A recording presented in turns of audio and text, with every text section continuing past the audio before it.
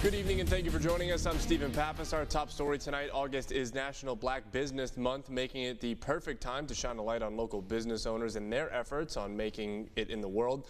NBC 10's Jeremy Bryant reports. August is a more active time for things like back to school shopping and sporting events kicking back up, but it's also a time to celebrate black owners and the path they've carved for other potential owners. Many may not know that Louisiana is in the top half of the United States in terms of total number of black owned businesses.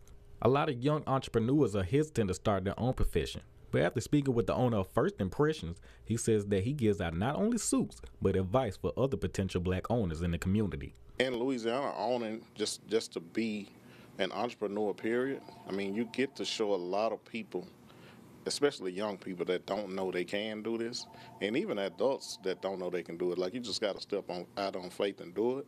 First Impressions has been standing in Monroe for over six years, and the same inspiration that got Makista and his wife to sign off on their newfound profession could also be the key for others to start their business and grow that relevance of sustainable black owners.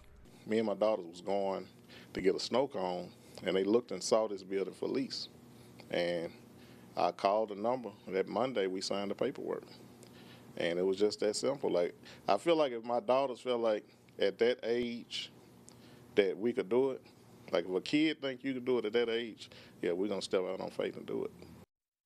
Black-owned businesses are continuing to grow nationwide. People like Makista wants everyone to celebrate other owners and not be afraid to carve your own path in the world. Send things back over to you. All right, thank you.